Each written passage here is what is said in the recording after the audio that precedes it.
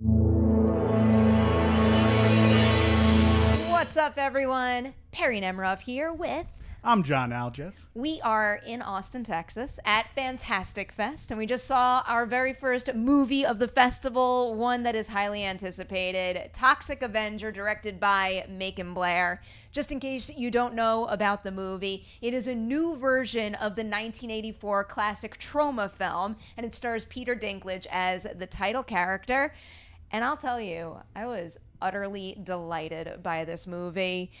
There is a quality to Troma films that like ooze the love of cinema, make it feel like human beings really made tho- those movies. And I feel like it's hard to both replicate that, but also make a new modern version that feels like it was done with with like high quality technology and, and you know it's made by a studio too and macon blair manages to do both with this which i found very impressive and very effective. Yeah, and like you know, you were talking about Troma and how they're they're known for their sort of like guerrilla filmmaking kind of thing, and they're very like low budget feel. But this movie does not feel low budget like at all. It feels like exactly what it is. What happens when Troma is given like a big studio budget.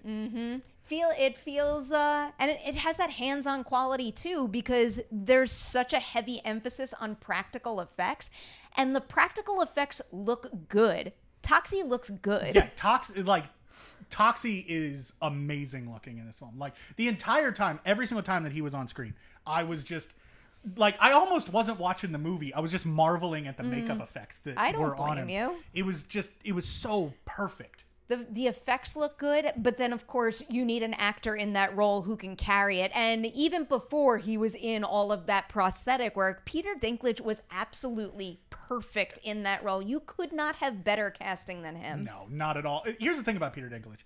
I think that you could cast Peter Dinklage in any role and he'd crush it. I believe you that. could cast him as like Queen Elizabeth and he'd probably win an Oscar. Like he would just kill it. He's so good in every single role. He has yet to disappoint me, and he definitely doesn't here. Yeah, he he doesn't and neither neither does the ensemble overall. It is just such a blast watching Kevin Bacon go big and also they've released images online of Elijah Wood and everyone got very excited seeing him, you know, kind of channel the penguin, but he he is an actor that's so talented that it makes a character like that purely his own and I appreciated that. My one my one thing about Elijah Wood is that I wish I wish they went a little bit harder on his relationship with Kevin Bacon. Like there was there was a little bit of a beginning there of something that could have been a real strong character conflict, and I don't feel like they hit it quite as hard as I would have wanted to. Okay. Uh, but he did a great job for what he was given, and I thought that you know I, I want to see more of his character. If they do a sequel, I hope that he gets to pop up again, just because he's he's such a he's such a character. I feel bad being this greedy when we only first saw this movie, but it is the type of film where I would like to see a sequel just because I got so attached to the characters. Because that's another big highlight of this version of the Toxic Avenger is that, like, it is batshit crazy. It's wild. It's bloody. There's a lot of, like, gross out comedy. Oh, yeah.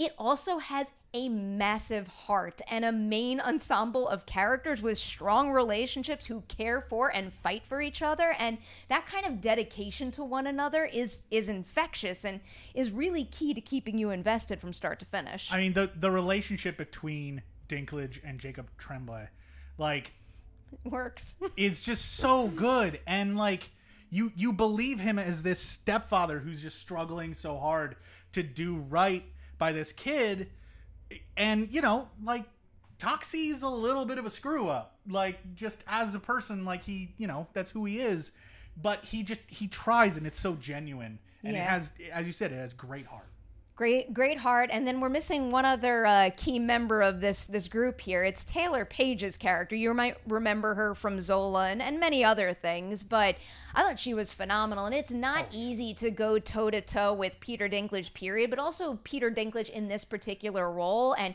like she just had this electric energy that would always draw your eye, even when she's side by side with him. And also, she delivers some lines of dialogue that shouldn't work, where the timing is so spot on and the delivery is so pitch perfect that really she has some of the most hilarious lines in the whole film. everybody in this movie just absolutely dominates. Everyone crushes.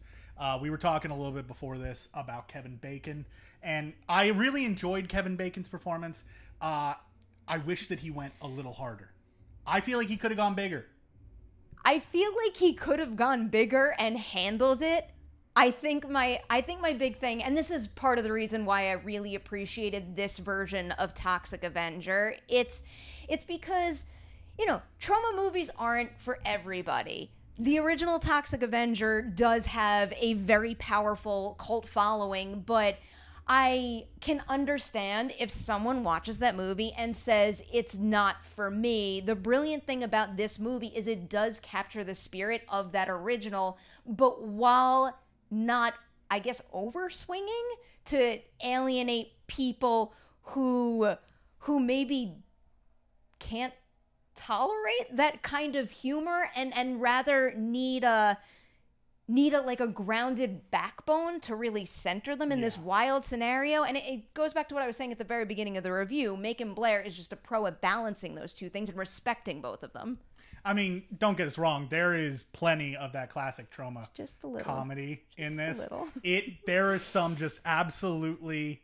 absurd moments, and there's so much just background chatter from characters Yeah. that you don't even see that are just off screen. That you know the entire theater was just chuckling constantly. Yeah, it's like at what- something. It's one of those movies that does have a very steady stream of laugh out loud worthy moments. And it's one of those things where, I don't know, I just like, I had like a shit eating grin on my face the entire time. I could not stop smiling, which is why I'm going to give Macon Blair's The Toxic Avenger.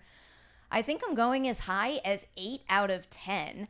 This movie just made me this movie made me happy in so many respects, but again, going back to that like hands-on humans made this movie quality, as someone who loves this art form, this craft so so much, seeing something like that and being able to feel the the artistry and the passion behind that artistry really like it means a lot to me in addition to just getting lost in the story and enjoying the ride. So the, that one-two punch there is is really what gets at my heart as a movie lover. And you know, Perri, I'm gonna agree with you 100. percent This is this is this is an eight out of ten for me. Hey. solidly.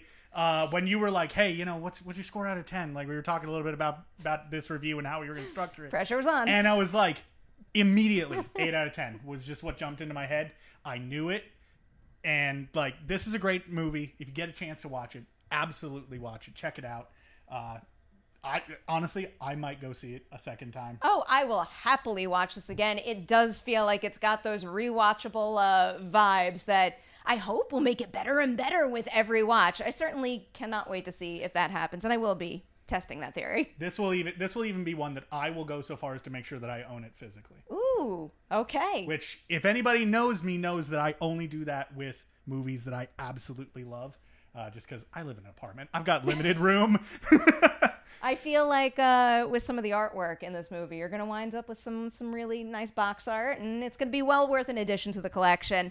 All right, those are our thoughts on Macon Blair's The Toxic Avenger. Are you looking forward to the movie? Hit the comments below and tell us all about it. Also, stay tuned. We will have so much more coming your way from Fantastic Fest 2023 very, very soon.